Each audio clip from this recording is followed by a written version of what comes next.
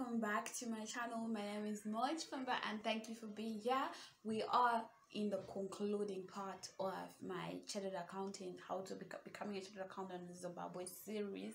And I just thought today I should come and talk to you about training in professional practice, which is audit, and training outside of professional practice, which are uh, being at being uh, trained at other firms that are not accounting firms that are not um, that are not um, audit firms. So um, I had once when I had finished my degree I went to to Zimra. I was working at Zimra. And um, I, I sat down with this other um, manager there.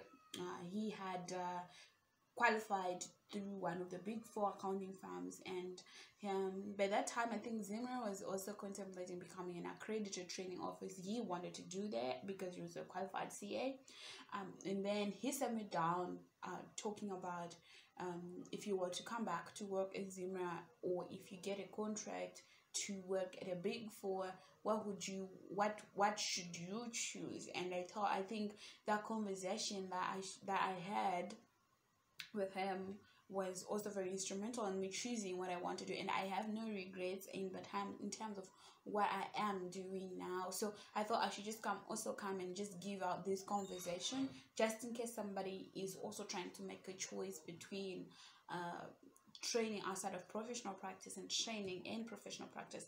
I hear that these terms were abolished and there's nothing called professional practice and outside professional practice anymore.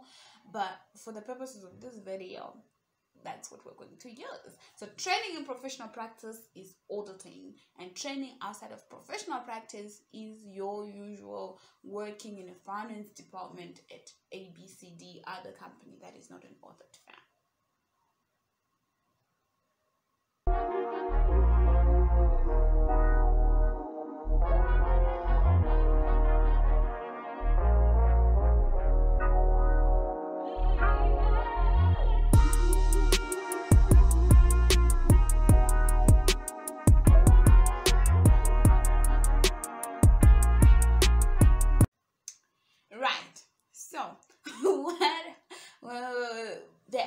Advantages to each and every to both of them okay? So i will start with training as a professional practice and then i'll also do um, i'll also explain to you training in professional practice or i'll start with the similarities. The similarities are in terms of exams you're expected to write the same exams. In terms of pressure i have pressure and uh, in terms of being in professional practice. And my friends who are also outside professional practice or working at other companies. So i will call audit firms firms and then i'll call other training offices that are not audit firms. I'll just call them companies. Yeah so that way that distinction right? Um in terms of pressure whether you're a firm or you're at a company the pressure is most likely going to be the same because articles by their nature they require you to be under so much pressure precious make pressure makes diamonds. Hi. Um but uh, then the other thing also the period that you take to qualify is most probably going to be the same. The upside of training outside professional practice at these companies is because be one the money. I like money. The money is usually better in training in, in the company than it is at the firm but that is for the duration of your training. Usually, after your training, things either equalize or things change. But for the duration of your training, it's easier. It's well, I mean, there's more money there. Uh, a person at at at a company is probably earning two times the money that I'm earning in the firm. But you make it work, hey, you won't die. That's one they earn more money. Two, in terms of financial reporting, I go into a firm to orders, but when you're in working in a company doing articles in a company, you are actually doing the financial reporting and the financial management. So you get so exposed to financial reporting and financial management.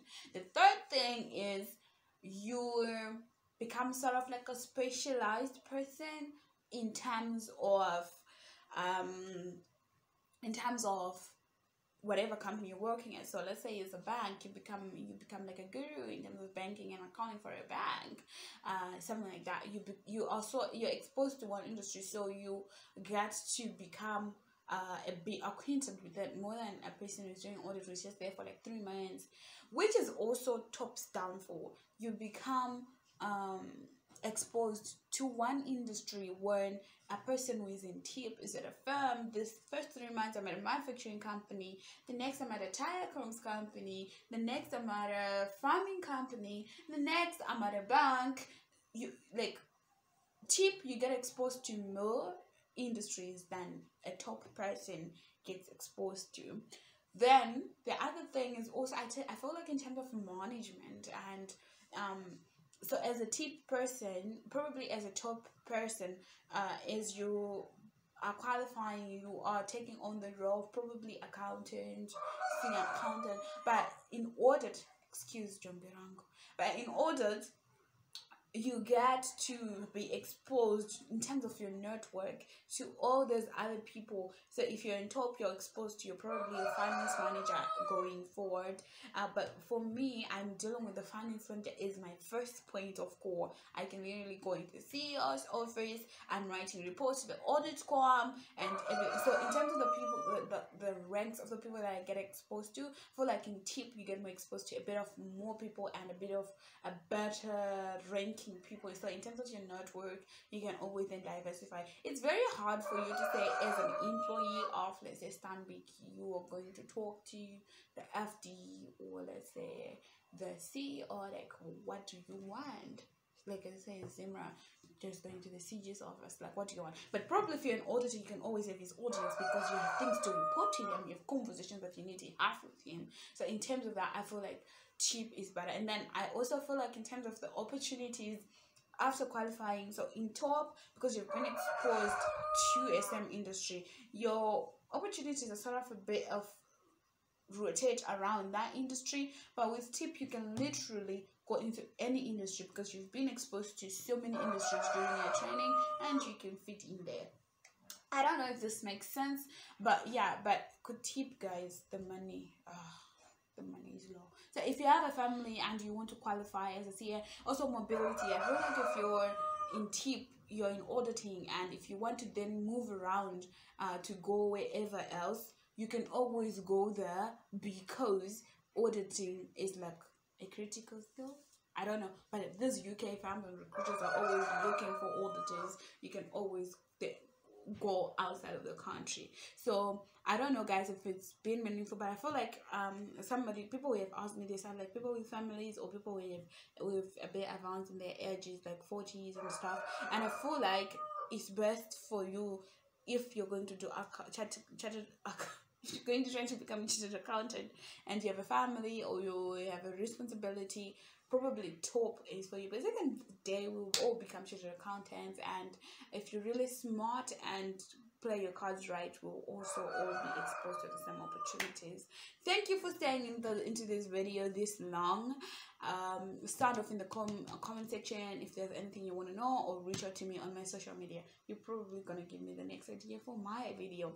So excuse me the takeaway so the takeaway from this video is that if you have a choice of whether you want to go to tip or top, I would go for tip. For tip, I would go into an audit firm. But my boyfriend sitting right across me would think that he would go to a top. But I mean, it's all preference and all career goals. So ciao, and I'll see you the next time.